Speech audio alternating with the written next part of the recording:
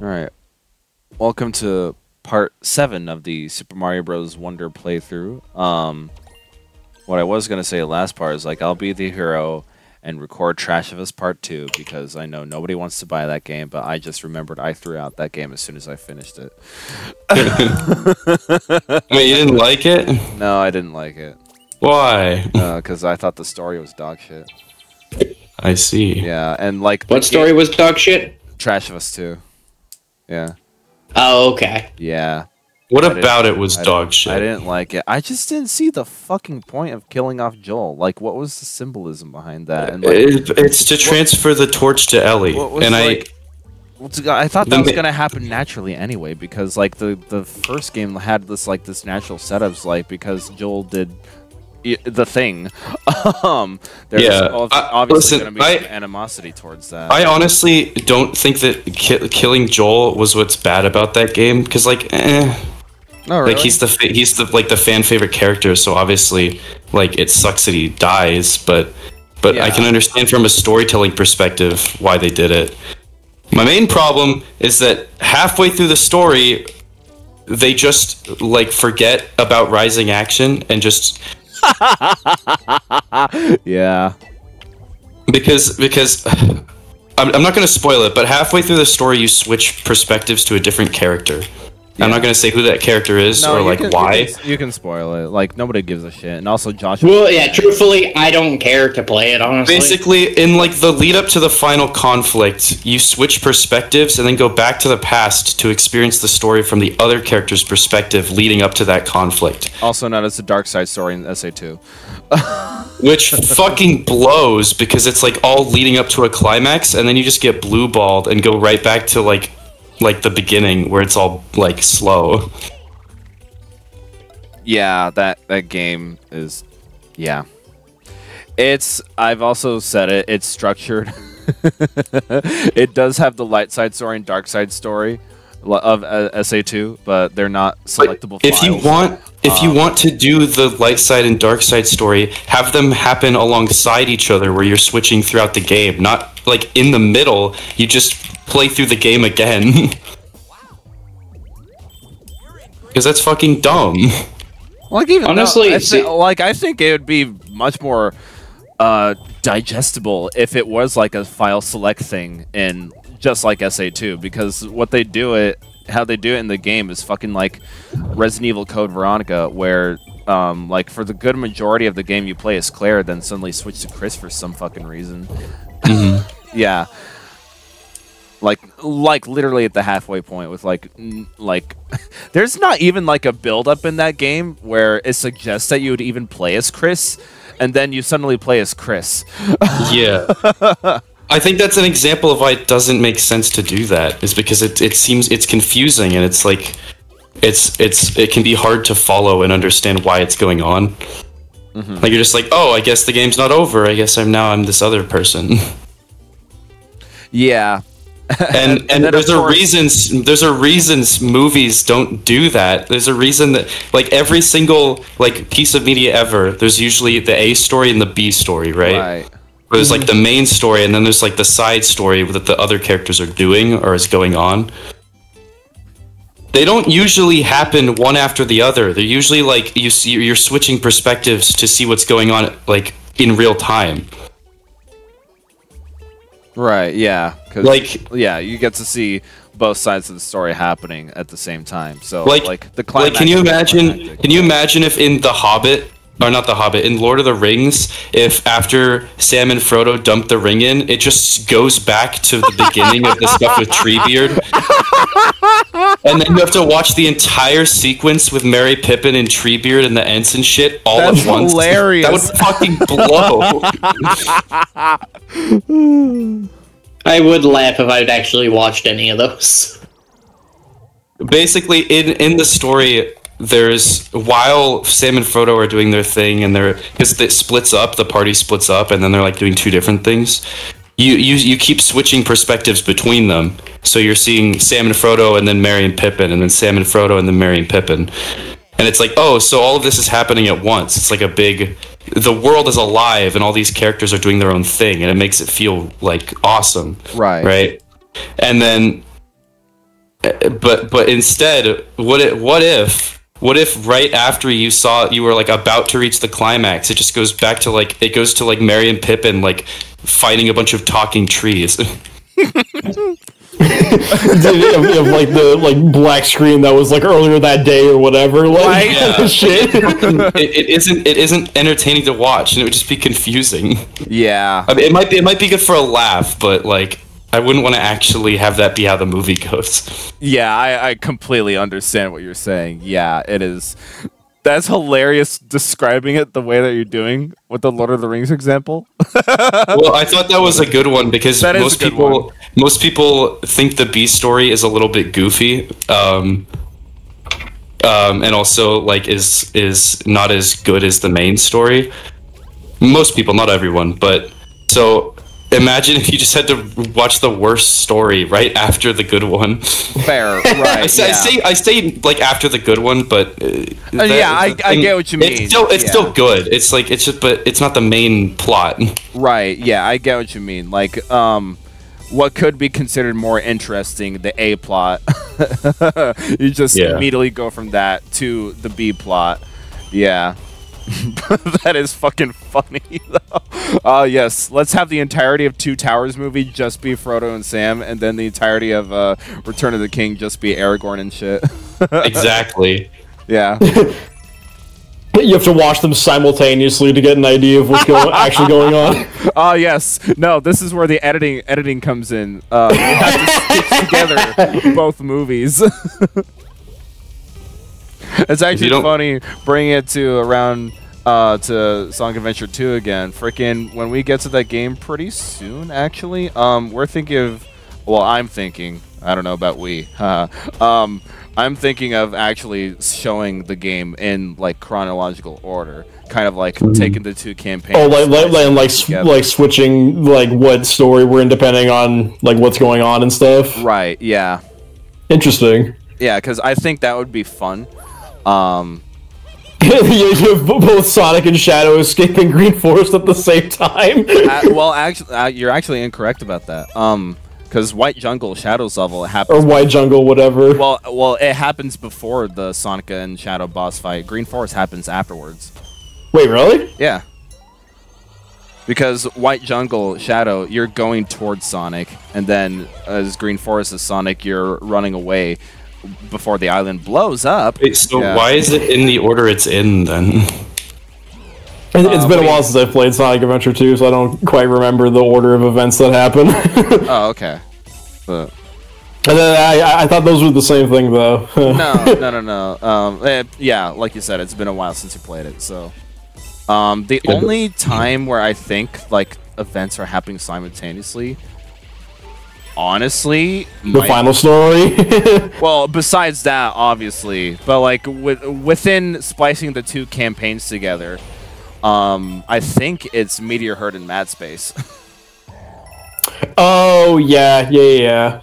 that I'm there might be another time somewhere, but I think it is Meteor Herd and Mad Space that are happening at the same time. I don't think That, that sounds like it makes sense. I don't think I'm going to do it like that. Um, mainly for the reason why I will not do it for Radical Train and Sonic 06 because all three hedgehogs are there at the same fucking time and they never interact with each other. I see. Ah, yeah. But I just think it would be a fun idea to like basically show it off as chronologically instead of like two separate campaigns. But that's the other thing too. Is like with SA2 and and other games of that nature, they separate them as distinct them between as campaigns. They don't immediately go one in right into the other. Kind of yeah. like Trash of Us Part Two did, or Code Veronica. Yeah. Yeah. Yeah, but basically, there's a reason that stories don't usually do that, and it's because most of the time it, it sucks. Very much so. Yes.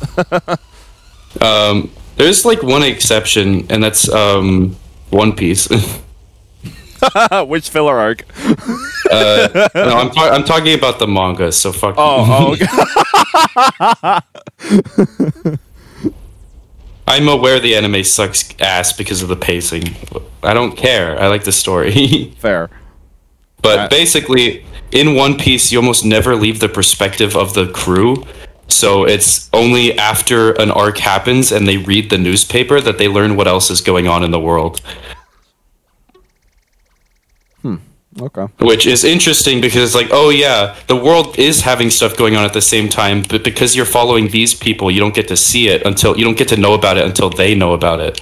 And I think that's that's kinda interesting. pretty cool, and it works because it's like it's like oh yeah, after after this arc happens, then you find out all this shocking news, and it's like all this stuff was going on, but we weren't seeing it. Yeah, it was like uh, you're experiencing the journey along with the characters. That's actually neat. Yeah. Yeah.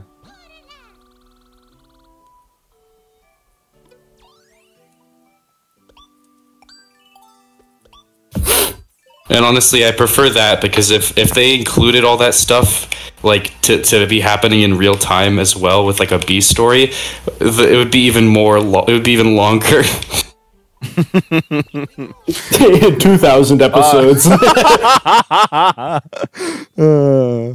oh, I love my 2,000 episode anime. It's so fun to watch. Oh my god. the writers, the author, uh, the artists are surely not overworked at all. no, totally not. not. I don't know what you mean. Ah, yes. Season one, Luffy's perspective. Season two, some other character's perspective on the same story.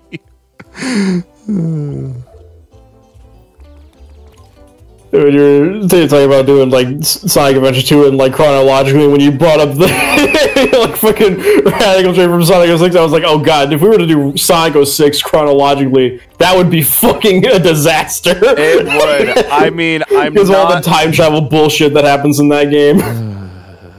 That's a fucking understatement. Yeah, I mean, I think it would be fun question mark to do Sonic 06 like that as well. Honestly, I might have a bigger problem. it probably give a better understanding of what the fuck is going on in the game. yeah, if only it didn't have the second worst story in all of video gaming, right behind Trash Fest Part Two. the only part to look forward into that would be Shadow Roundhouse kicking Silver in the head. That's oh practically it. yes, that would be. the best part of the game. But honestly, I might have a bigger trouble with doing Sonic Adventure One because there are six campaigns there. Damn, I didn't know there was that many. Yeah, and uh, yeah. some are longer than others for sure. Um, but six of them are still persistent. And oh, Don't they all happen at, like at the same time? yeah, well, mm, more or less. Some campaigns end sooner than others. Um, because I think chronologically, I think Big Story is the last one to end before the final story. No, that's not true. Fucking Omega. No, not Omega. Who the fuck is he? Gamma. I think Gamma story is the last one to end before the final story happens. Hmm. Not big. Why the fuck would I think big? Oh, him and his fishing. Oh yeah. Uh, uh, that that's also the Actually- other thing with fucking. Sorry, Cameron. I'm go, about to go. No, you're good. VHS. No, I was about to go on it. Oh, oh God, no, no! uh, I was about to go on a huge ass rant, but you can go ahead. I, I was gonna say, Ethan, you want a rail challenge? Play Shadow the Hedgehog, but you have to get all pathways. I did that already. Did you? Yeah, Yeah, that's he like- did That's literally what I recorded. Okay. We just haven't gotten around to it because fuck that game. Yeah, yeah, he did all the he did all the pathways in Shadow the Hedgehog, and he was gonna uh, edit it so it'll it like Yeah, I- uh, so, so it wouldn't be as fucking tedious. Don't worry, Cameron. I have already done it. Just just doing all those pathways just for the game to tell you to go fuck yourself. all 10 pathways. In fact, the way that I, I had to show off every single fucking mission in the game, so I had to play the game an additional three times in order to get every mission. Damn. You can play Sonic my Boom without you without uh, skipping stuff with Knuckles. uh, Well, didn't they didn't they patch it out? I think they did, yeah. Oh, it's no matter. Sonic Blink Sonic Boom is not well. I was about to say not painful. It's just it puts me. Literally, the only reason why I had to finish save file of Sonic Boom was because of that glitch. that was the only way I finished the game was by skipping everything with Knuckles. And once they patched out, I was like, nah, I'm just not gonna play this anymore. Damn. yeah. So the fact that you completed all pathways and you what you said you had to play the game like three extra times. Three extra times to record all the missions in the game. Motherfucker I had to play Westopolis thirteen fucking times. Oh, I hate I hate that level so much. it's so bad. Oh, don't give me PTSD. We haven't even done the commentary yet. Uh, that'll be next year after SA2. but yeah, why I figured we'd do SA2 first before all the other stuff, doing them chronologically, is because fucking that game has no overworld. SA1, oh yeah. SA1 and 06 have overworlds, and trying to splice those in together would be fucking painful. I say you should have told me when you were uh, uh, recording uh, Shadow the Hedgehog. I would have sent you a bottle of sympathy alcohol. Oh, fucking! I did that what two or three years ago now. Yeah, um, yeah, you can still send me one over via mail. I'm, I'm sitting here thinking, like, if we ever do get around to to, to do like a Sonic 06 recording, we should just wait for Project 06 to be finished. just wait for the boss fight Yeah. update for Project 06, and then just edit in all the cutscenes. Only way I ever play Sonic 06 again is if I get to drink while playing it. I don't want to remember playing it. Who does? I unfortunately, I've, I'm, I'm dumb. I do Well- partially. I'm, I'm dumb because I'm a Sonic fan. I've played through that game like fucking three or four times in my life, and so I've wasted. I don't know how many hours that game is. Well, I've wasted four times that amount. Too many. Yeah. So I've also wasted my I've played through Rise of Lyric about three times in my life as well. So I know exactly what I'm doing with my life. Don't And play that Sonic, is? folks. Play Mario. Mario's a good franchise. Hmm. Do what I do and save yourself the brain cells by playing Mario. Yeah. Well, all your dead brain cells come from buying the same fucking football game every year. Yeah, basically. I mean, I love how tra- there's no denial. you trade one villain for another. Okay, I see your logic.